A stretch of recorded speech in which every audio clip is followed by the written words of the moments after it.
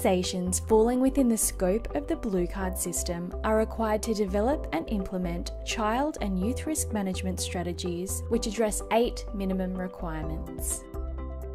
This video will guide you through the eighth and final of the minimum requirements, which is the requirement to have strategies for communication and support. As we have emphasised throughout this video series, it is essential for your organisation to have carefully drafted policies and procedures which are relevant to assisting with reducing the risk of harm to children. These strategies will be most effective when they have been successfully communicated to all people involved in your organisation.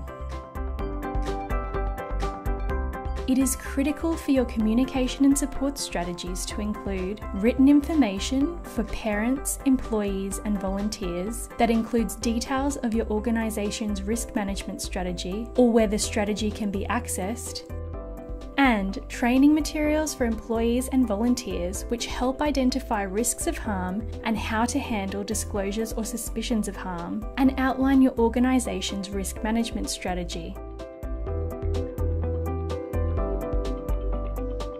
So, why do you need to have a strategy for communication and support?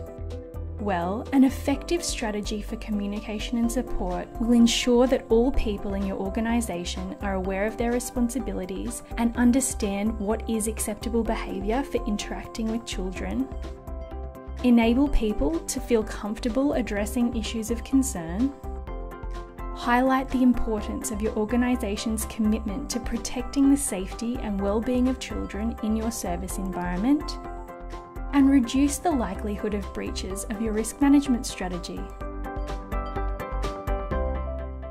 So, how should you go about drafting this strategy? A good place to start is to consider what methods of communication and support are suitable for your organisation and involve people in your organisation in developing them. If parents, carers, employees, volunteers, children, and young people are actively involved in developing your organisation's policies and procedures, they will be more likely to accept, support, and adhere to them this will in turn build a culture which recognises and values the importance of upholding safeguards for children. Some practical ways to achieve this could be running a brainstorming session to identify the risks which are particular to your service environment and thinking about ways which those risks can be reduced, presenting your strategy to all people involved in your organisation, particularly parents, and actively seeking their feedback and perhaps featuring a policy of the month, where people in your organisation are encouraged to become familiar with the policy and provide feedback they consider appropriate. In addition, you should consider strategies to ensure effective communication about your risk management strategy within your organisation. For example, you might want to provide compulsory induction covering the risk management policies and procedures for all paid employees and volunteers.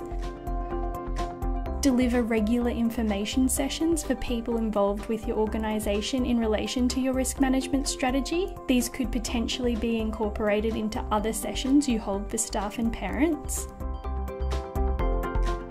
implement specific strategies to ensure the participation of children and young people, to make sure they understand how to keep themselves safe and what to do if they feel unsafe. Provide information about the various policies and procedures in your newsletter or other publication and seek input and feedback. Utilise bulletin boards and posters to visually promote your organisation's commitment to safe and supportive environments for children and young people. Provide a copy of your risk management strategy or information about where it can be accessed as part of any resources you provide to people. Schedule regular and mandatory training for staff in relation to various policies and procedures which make up your strategy with a particular focus on managing disclosures or suspicions of harm. Consider if there are any aspects of your strategy which can be incorporated within professional development and performance plans. And provide relevant individuals with information to understand their obligations as a blue card holder. Remember, if everyone understands the expected standards of behaviour, it will be easier to identify and remedy issues quickly. Now, let's talk about support.